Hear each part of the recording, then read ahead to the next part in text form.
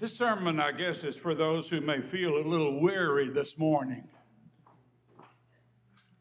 a little put upon. For those who feel they've got too much to do and feel like they may not have the energy to do it. For some of us who used to do things a lot faster than we do now, although the same stuff has to be done that we had to do then. We just do it slower. In other words, the sermon today is basically for me.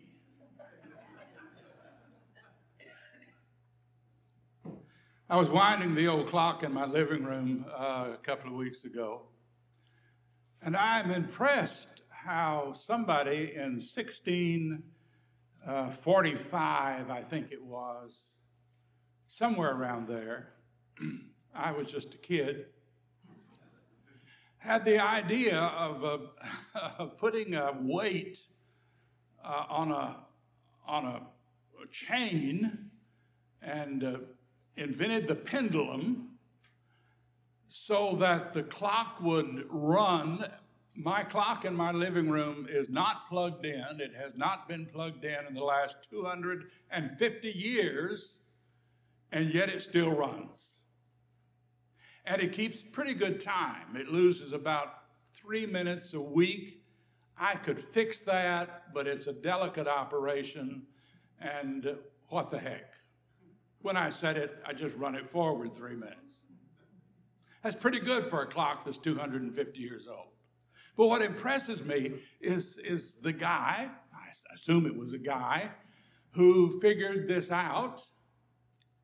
A clock runs by capturing the power of a falling weight.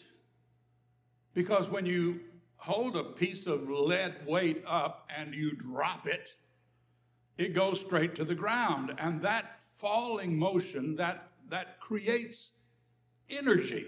And he harnessed the energy of those falling weights. One weight on one side runs the time business, and the weight on the other side runs the striking mechanism so it can count out the hours. And unless the clock breaks, that's always going to work. But what, because what is driving that clock is gravity. And if gravity doesn't hold, children, we are in big trouble. You can count on it pretty much. When I wind that baby up and those weights start down again with that pendulum swinging, controlling the whole thing, that clock's going to move and it's going to tell me the time. Power. We had a lovely lady here once. She's passed on, and I loved her dearly. She'd been here for a while, but uh, she didn't seem that she was getting success and getting involved in anything. I remember she came into the kitchen one time when some of the women were working around here, and she put her hands on her hips and she said, I want some power around here. She had worked in an office and she had had several women under her, and she came to church and nobody was under her. She wanted some power around here. We all need power. What we don't all realize is that we actually don't have any power that belongs to us. It's not ours. We don't belong to us. The power that keeps us going doesn't belong to us. In God we live and move and have our being. It's all His power. And He lets us use it. And there's more of God's power that is available to us than we generally know. we have the one who runs the whole thing and by the whole thing, I don't mean Texas and Oklahoma, I mean the universe. I mean all that's beyond this universe in eternity. And this power is on our side. This power is the one we belong to. This power loves us even at our worst. Bob Dylan wrote a song once. Well, he wrote a lot of songs once. But this one's called Love Minus Zero Dash. I think I put the dash in there. Could be a comma. Love minus zero, no limit. Or it may should be an equal sign. Love minus zero equals no limit. No limit to the love. That's the kind of love God has for us. No limit.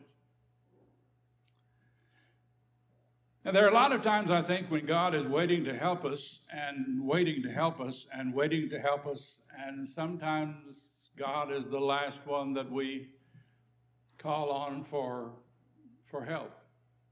A lady called me recently, and Lord have mercy, her life is in a mess.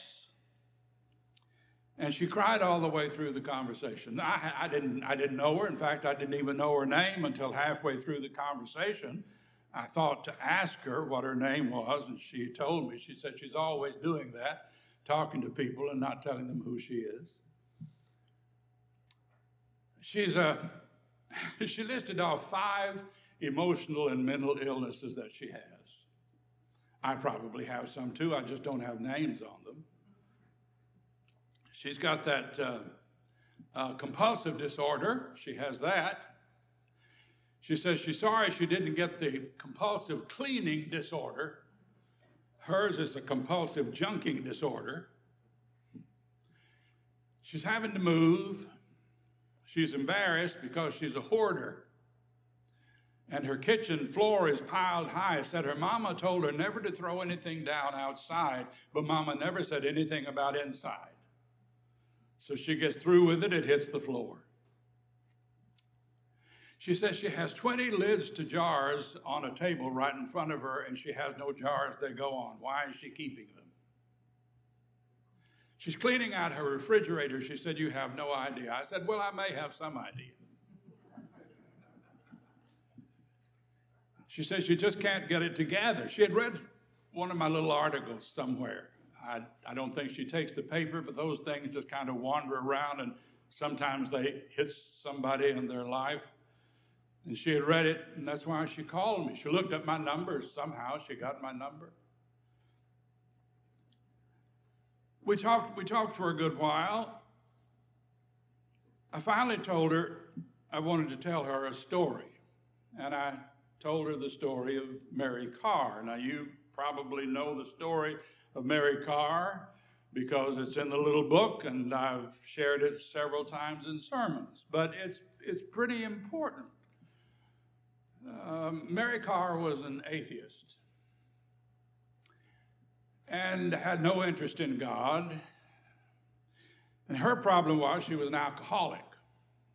And she had tried everything to beat it. She had a 12 year old son named Dev, and uh, she was not being the mother that she ought to be because she was drinking too much. And so she was desperate. A friend of hers finally told her, said to her, Why don't you try prayer? Which is a funny thing to say to somebody that doesn't believe in God. And she thought it was a funny thing for somebody to say to somebody who doesn't even believe in God because who are you praying to if you don't believe in God? And but she was so desperate, she decided to try prayer. And um, she was not, um, she didn't know anything eloquent to say. In fact, she had a she had a, she had a two word prayer, and she prayed it every morning Help me. That's it. Help me. And then at the end of the day, if she stayed sober, she had a one word prayer thanks. She did this every day, and she found out that she was staying sober more often, and then she was staying sober all the time. And then she said, for some reason, when she prayed that prayer, something started happening somewhere down in her chest that felt like it was around her heart. And she didn't know what that was. Then her son Dev said to her out of the blue one day, Mama, why don't we go to church? And after all of this transformation in her life, which had already taken place, she had let the booze go. Uh, she said, okay. And they went to church. And uh, she joined the church. And she became a Christian. Mary Karr, the author of a fairly raucous book called Liars Club, became a Christian. And, it all started with help me and thanks. It's not like taking an aspirin and two hours later you get, you know, your headache's gone. It's not like that. It's like a relationship. I've got some things I want to do in life, and I think uh, I think I've got a lot of things I want to do, and I want to do a lot of things differently from the way I'm doing them. And I, I think, how how can I possibly get all of that done? You see me whizzing around here, don't you? Well, let's change that whiz to. Uh, you see me crawling around here, whatever you do when you're standing up straight and moving slowly. How can I get all of that done? I don't think I've got the, the energy. I don't think it's possible. But I know what I want to do. After I told that woman about Mary Karr, I said, listen, Think about what you want to get done. She had movers coming the next day who were going to move her to a new apartment. I said, let this be a new beginning. Think about how you want to live, not the way you are living, and think about where you want to get. And she said, I just don't think I can get there. I said, No, I don't think you can either. I don't know that I can get done the things I need to, I would like to get done like in the next three months. I don't think I can do that. I probably can't, but there is a source of power available to us that can get us from where we are to where we need to be if we just say at the beginning of each day, Lord, work with me or help. But then during the day, you've got to remember that you prayed that prayer and you have engaged this power, which can lead you where you need to go beyond whatever you expect you may be able to do. The scripture says far more abundantly than you and I can even receive, conceive because this power is on our side. And if you really need to get it done, then you really need, and I really need, to tap into that power and get the things done that we used to do. You remember the guy on the radio who used to have a joking advertisement about powder milk biscuits? Powder milk biscuits, Garrison Keillor. Powder milk biscuits that could make you get up in the morning and do the things you need to do. Well, that's what the power of God can do for us. Can I tell you another old story if you don't mind? It's also in the book. Uh, but it comes to me occasionally. I spoke over at a uh, uh, retirement facility not far from here last week, and they have one of those gates that opens up. I'm very familiar with that gate because Raleigh and Phyllis Yorth used to be over there. Bill Williams used to be over there. Several other people used to be over there. They've now passed away. And um, by the way, speaking of uh, Raleigh and Phyllis and their son Edward, I do need to tell you that Edward's son David came through his surgery Friday on just fine. He had heart surgery, he had th- three arteries blocked, and we give, we give thanks for that. Anyway, as I was driving through that gate, I remembered the story that I had told years ago. Uh, they had the same kind of gate over at a place in Dallas called the United Methodist Reporter, and they used to provide the front page of the paper to local churches, and we would we would have a uh, like the front of a small newspaper would be our newsletter, and they gave that made that available to all of the different churches. United Methodist, Methodist Reporter, and uh, it's it's where Wally Bennett used to be used to work. He used to be the editor. That's Carol's uh, Bennett's husband, who has passed away, Reverend Wally Bennett. Well, anyway, uh, it's one of those gates where you drive up to and then uh, you push a button or something and it opens for you. But here you didn't even have to push a button. You drove up to it and uh, it broke this beam and it allowed you to come through the gate and then the gate would close behind you. Now, I was always in a hurry and I didn't want to have to look for a parking place, and there were parking places always available at the round at the side of the building. And I would pull around there where most people didn't park, and I would park and I would rush in and give the copy for the week for our church newsletter and put it on the secretary's desk. And then I would go back out and get my car and I would come back to the gate. And for some reason, um, it, it would never open for me when I was leaving. It just would not open. And uh, I, did, I, didn't, I didn't know why. It was a puzzle. I thought, well, I'm not getting close enough for to break that beam so that it will open. So I would pull up almost bumping into the gate. I'm surprised I didn't crash through it, and still the gate would not open, it would not move. So one day I decided maybe I need to come at it from the side because I noticed other cars that drove up from my right would come up and the gate would just it would just open for them. I thought that's what I need to do. You have to approach this baby just right. So I got to where I would get in my car, I would come into that front parking lot and turn around, and I would approach it catty corner, angled into the gate, so that when I got to the gate, the gate opened every single time, and I was so proud of myself because it was pretty clever. This thing thought it was smarter than I was, but turns out tweren't so. I could now do it. And you know, when you're proud of yourself, you just have to brag. I went into the secretary at the front gate the next week after I had discovered this marvelous thing. And I said, You know, I've got to brag on myself just a little bit. I said, I have discovered that I have, I have conquered that gate. I have discovered that I can open the gate if I come at it from the far right. I said, It opens every time. And I said, I can do it now. She said, No, you can't.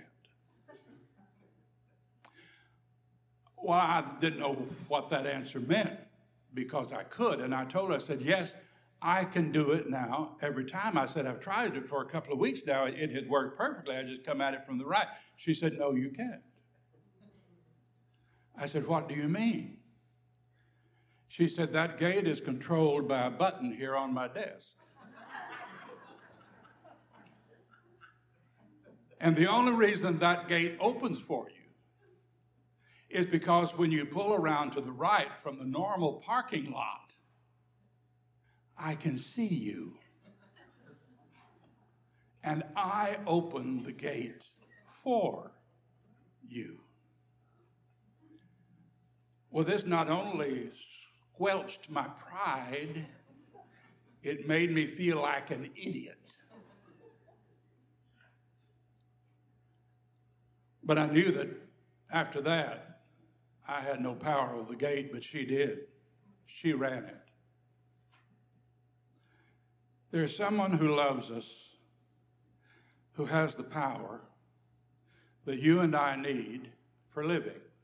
And if it's not going right now, if it's not the way we want to do things, this power is available to you and to me. Again, as the scripture says, far more abundantly than we can imagine. Well, in three or four months, I'll report and tell you whether I've gotten everything done that I need to get done in the next three or four months. I may not, but I'll have this comfort of knowing that every morning when I get up and I'm going to do this and say, Lord, be with me through this day. Give me what I need to do the work I need to do. I know that God is doing that. And if I don't get it done, well, maybe I didn't have to get it done after all. Join me in prayer.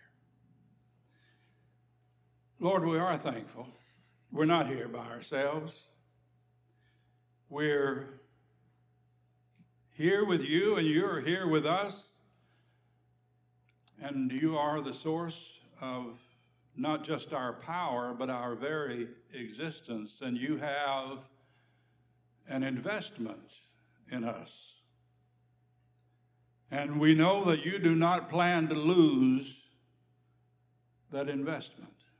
So, work with us, work through us, work on us, and do the work that you need to do in the world through us. In Jesus' name, amen.